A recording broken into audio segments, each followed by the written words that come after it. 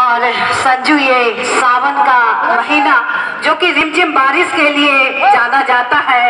और सावन के मास में ही हमारे जितने भी सपूत थे, देखो कितनी खूबसूरत मतलब ये छटा और ये मौसम जो पूरा अभी हमारे इस टुकड़ी का, इस आज के सलामी दल का सहयोग इंद्रदेव पूरी रात बारिश हुई है, लेकिन इस समय मानो हमारी प्रकृति भी आज के इस झंडोत्तोलन में हिस्सा लेने को आतुर है।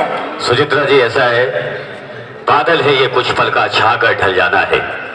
और ये मानना पड़ता है कि ये देश की आज़ादी का हम जश्न मना रहे हैं।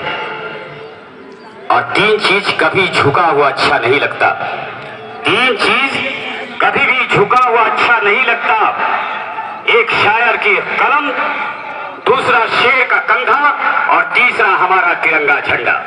बहुत सुंदर, बहुत ही, वो कहते हैं कि आन बान और शान है हमारा ये तिरंगा और इस ध्वज के तले हम हमेशा प्रतिपल अपने राष्ट्र के लिए, अपने राष्ट्र के हित में अपनी जान को कुर्बान करने को आतुर रहते हैं। और हमारे पूर्वजों ने, हमारे अमर शहीदों ने बिल्कुल इसी अपनी बलिदानी को दिया जिसका परिणाम आज हम सभी के सामने है कि हम एक स्वतंत्र देश के निवासी हैं। तो सत सत सत सत नमन करें अपने उन अमर शहीदों को अमर बलिदानियों को।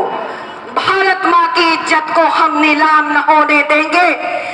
खाते हैं कसम स्वतंत्रता की हम शाम न होने देंगे।